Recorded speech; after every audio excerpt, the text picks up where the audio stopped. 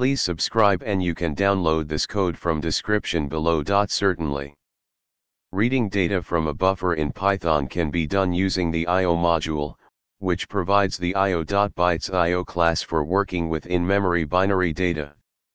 In this tutorial, I'll walk you through the process of reading data from a buffer using Python, along with a code example. In step 2, we create a BytesIO object named buffer and write some binary data to it using the write method. In step 3, we set the position of the buffer to the beginning using seek, 0. Then, we read the data from the buffer using the read method. If the data is in binary format, you may need to decode it to a string using the decode method. In step 4, it's good practice to close the buffer when you're done with it, especially if you're working with files or other resources. This tutorial demonstrates the basic steps for reading data from a buffer in Python using the io.BytesIO class.